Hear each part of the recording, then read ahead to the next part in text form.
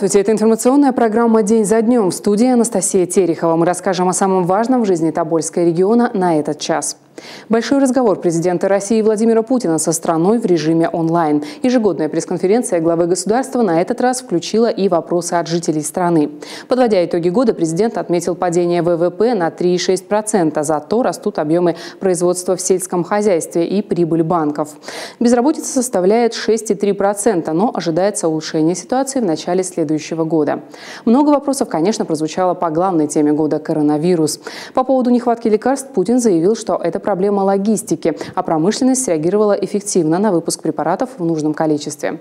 Кроме этого, Россия оказалась первой страной в мире, которая изобрела и начала производить вакцину. Она эффективна в 96% случаев, не зафиксировано ни одного серьезного побочного действия. Президент призвал всех придерживаться рекомендаций специалистов те вакцины, которые поступают в гражданский оборот на сегодня, предусмотрены для граждан в определенной возрастной зоне. И до таких, как я, вакцины пока не добрались. Э, я повторяю еще раз, я человек в этом смысле достаточно законопослушный, я прислушиваюсь к рекомендациям э, наших специалистов, и поэтому, поэтому пока этой вакцины, пока этой вакцины, как говорят специалисты, не поставил. Но я обязательно это сделаю. Поступили обращения о невыплатах надбавок врачам, работающих с ковидными больными в некоторых регионах. Также были вопросы, связанные с экологией и другие. Вопросы задавали не только журналисты. Музыкант и телепродюсер Сергей Шнуров, например, поинтересовался судьбой теперь уже бывшего президента Америки Трампа. На пресс-конференции президента работал наш корреспондент Шамиль Гулиев. Ждем от него интересные подробности в следующих выпусках. Предварительный этап всероссийской переписи в самом разгаре. С начала декабря переписчики собирают сведения о жителях труднодоступных территорий. В Тобольском районе 28 таких сел и деревень, куда сейчас удобно добираться по зимнику. В деревне Хмелево вместе с переписчиками побывала наша съемочная группа. Здравствуйте. Всероссийская перепись населения можно к вам? В деревне Хмелевой отказов от участия в переписи не было. Жители понимают всю важность этого большого дела и охотно сообщают сведения о себе. Ну, наверное, чтобы знали там высшие власти, что сколько людей находится на территории России. По нашему сельскому совету, может быть, какие-то средства будут выделять на наши местные дороги и колодцы, и электричество. Школу новую строят, вот ФАП новый строят. Все-таки у нас дороги вот все-таки поддерживаются. Хорошо у нас в деревне. Эта деревня, как и входящее в Хмелевское сельское поселение Елань и Ахманай, находится на труднодоступной территории. От Тобольска по трассе 100 километров, кругом болото, от большой земли отделяет капризный Тобол, и почти три месяца в году сюда никак не добраться. Для таких территорий перепись стартовала заблаговременно, в декабре. Марина Прохорова – коренная жительница Хмелевой, 25 лет проработала в школе, теперь вот стала фельдшером. И от переписи в стороне не осталась. Кропотливая работа, всех нужно обойти. Э, население разное, в каждый дом нужно зайти, переписать, э, где-то собаки. В основном работаем в ночное время.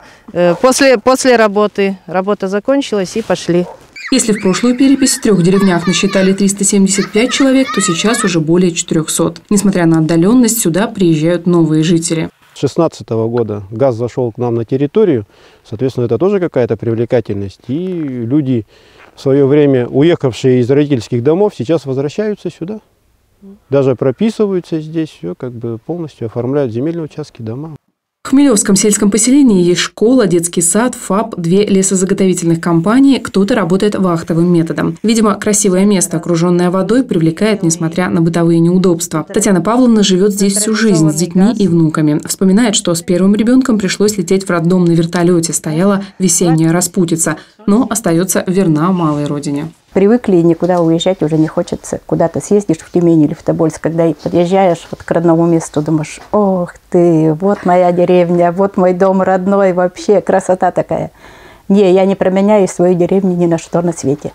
До конца года переписчики обойдут 28 населенных пунктов Тобольского района и опросят порядка трех тысяч жителей. Для всех остальных всероссийская перепись начнется в апреле 2021 года. Анастасия Терехова, Рустам Рузеев, Тобольское время. На 17 декабря в Тюменской области зафиксировали 166 новых заболевших коронавирусной инфекцией. Летальных исходов 2. За последние 24 часа на поправку пошел 161 человек. Таким образом, с начала пандемии от болезни излечились 19 747 жителей региона. Заболели 21 077 человек. И сегодня оперштаб Тюменской области опроверг фейк из мессенджеров о том, что в регионе планируют ужесточать режим повышенной готовности. Колл-центр для предпринимателей, созданный с целью информировать бизнес-сообщество об изменениях в экономике и законодательстве в условиях пандемии, оправдал ожидания. Сейчас предприниматели обращаются на горячую линию не только с вопросами, связанными с коронавирусной инфекцией. Профессиональные ответы они получают по самым актуальным темам. Вторая э, очень такая горячая тема. С 1 февраля вводится маркировка одежды маркировка шин уже наступила с 15 числа, маркировка одежды. Соответственно, предприниматель нужно будет промаркировать все свои остатки, потому что он не сможет продавать э, одежду после 1 февраля без маркировки. И остается, по сути, уже здесь э, ну, без новогодних праздников, условно, две недели будет предпринимателя. Звонят не только предприниматели Тобольска, но мы знаем, что с Тобольского района, Багайский район, город Елутраск и даже из Тюмени к нам поступают звонки за консультацией, потому что люди знают уже, что действительно тут профессионалы сидят, и они четко, без лишней воды, все ответят на все вопросы. Информационную поддержку предприниматели могут также получить и на сайте, на страницах в социальных сетях. Меньше месяца остается до окончательной отмены режима ЕНВД – единого налога на вмененный доход. О том, на какие новые режимы налогообложения выгоднее переходить малому бизнесу, разбирались наши корреспонденты. Новшество касается индивидуальных предпринимателей и организаций. Вариантов перехода для организаций 2, для предпринимателей 5. ИП могут стать самозанятыми, перейти на патент или выбрать упрощенку с объектов доходы или доходы минус расходы. Все перечисленные системы налогообложения имеют свои особенности. Так, упрощенная система налогообложения имеет две налоговых ставки. Это 3% со ставки дохода и 5% со ставки дохода минус расходов. Данную систему налогообложения а, могут применять как индивидуальные предприниматели, так и организации. Самый неудобный вариант перехода для индивидуальных предпринимателей – общая система налогообложения – ее имеют право применять только индивидуальные предприниматели. Перечень видов деятельности, на которые распространена ну, как мож, может применяться патентная система налогообложения, определен законом Тюменской области. Патент можно выкупить на срок от 1 до 3 месяцев. Подать заявление можно до конца декабря. С 1 января 2021 года предприниматели вправе уменьшить налог при патентной системе на суммы страховых взносов, выплаты по больничным за счет работодателя. Для самозанятых подойдет налог на профессиональный доход. Его могут применить как физические лица, так и индивидуальные предприниматели. Всего в Тобольске 790 налогоплательщиков, из них 25% определились и выбрали подходящую систему налогообложения. Остальным до конца года необходимо определиться, иначе система будет выбрана автоматически. Ольга Куричка, Наталья Китова, Ярослав Прохоров, Тобольское время. Щедрая на рыбу Камчатка вновь радует табаляков деликатесами. Они обладают уникальным вкусом, ведь выловлены из морей, отличающихся безопасностью и экологичностью. Взаимовыгодные межрегиональные связи предпринимателей позволяют и табалякам познакомиться с рыбной продукцией, которую раньше могли попробовать только чукчи, эвенки и алиуты. Ну какой новогодний стол без камчатских деликатесов? На выставке продажи «Край Камчатки» в ассортименте более 30 видов рыбы. Для любителей красной здесь свежая чевыча, нерка, кижуч, китай и горбуша. Для ценителей белого мяса – белорыбица и палтус. Всю продукцию можно попробовать. Икра кижуча вкусная, полезная, без красителей, без добавок. Еще в ассортименте горячего копчения скумбрия, окунь горячего копчения. К новогоднему столу я порекомендую чевычу. Она очень жирная, вкусная, белорыбица.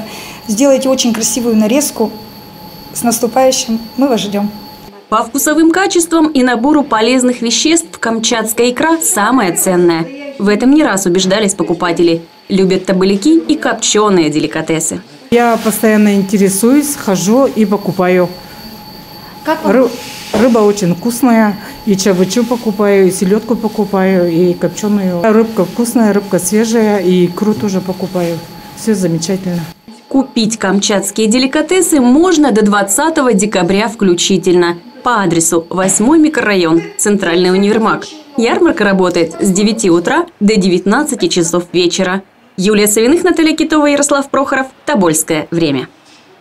Чита Дедушкиных из Тобольского района завоевала звание «Семья года» в городском конкурсе «Молодежная элита-2020». Это не первая их награда. Инициативные дружные супруги показывают пример другим. Как здорово жить, когда любишь. В этом они убедили и Наталью Китову.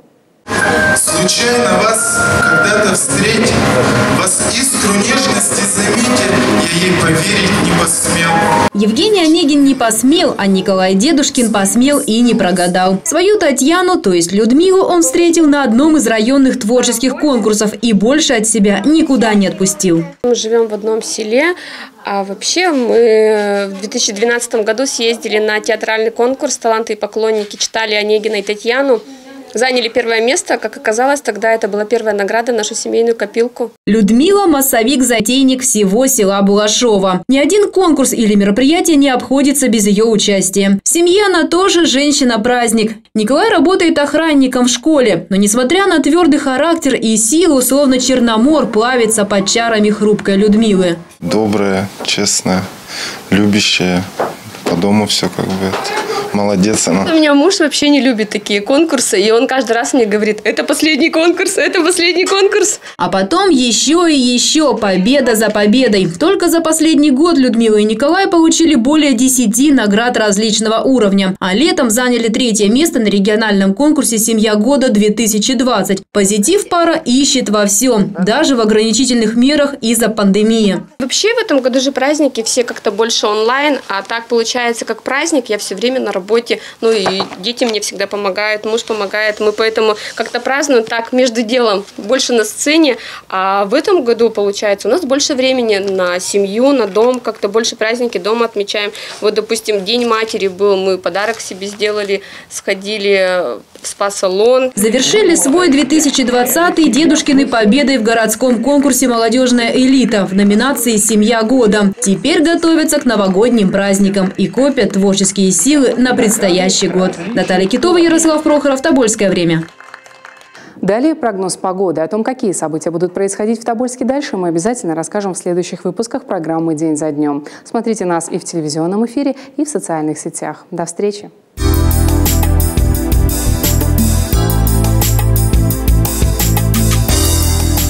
18 декабря в Тобольске снежно. Днем на термометре до минус 6 градусов. Ночью похолодает до минус 17. Ветер юго-западный дует со скоростью 3-4 метра в секунду.